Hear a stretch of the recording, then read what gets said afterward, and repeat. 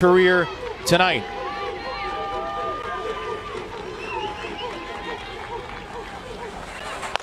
Husky left side. It is caught by Muffley. Double play. Ball game over. Seminoles oh survive.